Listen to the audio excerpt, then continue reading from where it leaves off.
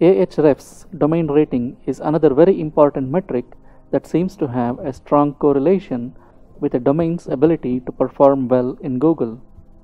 Domain rating is measured on a scale that goes from 1 to 100 with 100 being the strongest. The higher the domain rating of a domain, the more likely it is to perform well in the SERPs. It is computed by taking into account all of the backlinks to the site. Sites that have a high domain rating also tend to have a high trust ratio and a high domain authority. We are now on ahrefs.com. You will need to create an account and then log into the site before you will be able to check the domain rating of a website. To find the domain rating of a website, enter the URL in this search box and click explore. The tool gives you a lot of information and this is the domain rating.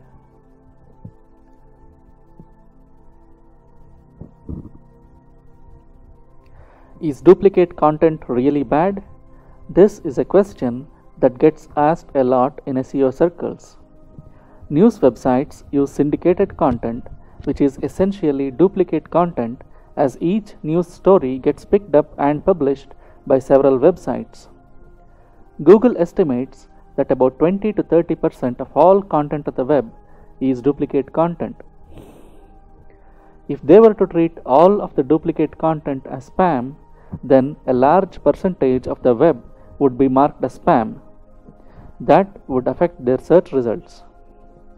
That said, autoblogs that scrape content from other websites will certainly not rank well in Google.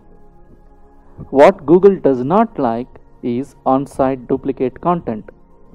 If it sees several pages on your site are copies of each other, that will hurt your site and you will want to avoid it. Some content management systems like WordPress actually cause on site duplicate content issues if they are not set up the right way.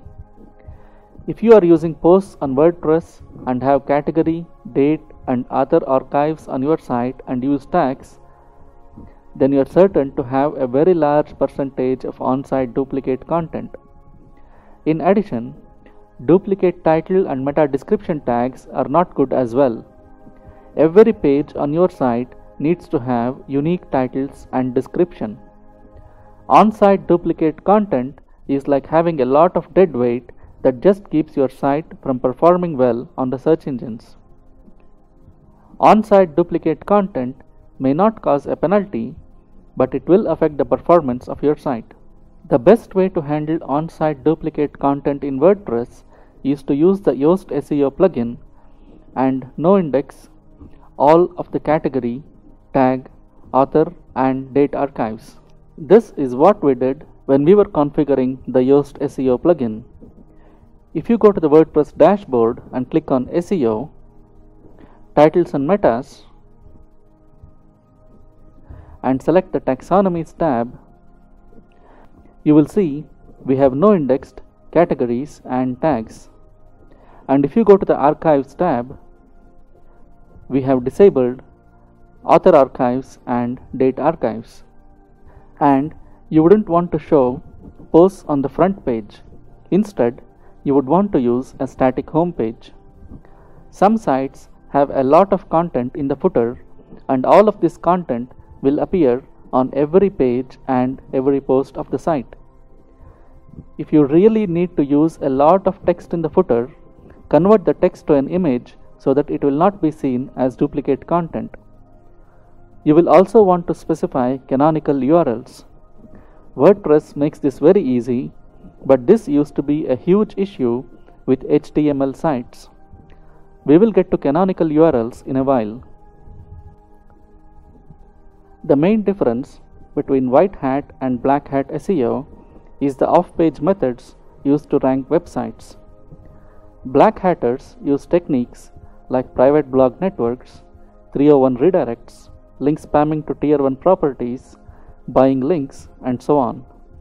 On page black hat methods like keyword stuffing, hidden text, multiple H1 tags, and more used to work, but now can seriously hurt your site. Black hat link building methods do work when done the right way, but doing it right is not easy. And if Google discovers a site is using black hat methods, the site may be penalized. White hat SEO, on the other hand, relies mainly on high quality content and getting editorial links. While black hat methods are designed mainly to fool search engines into thinking a site is a high authority site in the niche, white hat SEO aims to build real authority sites that stand the test of time.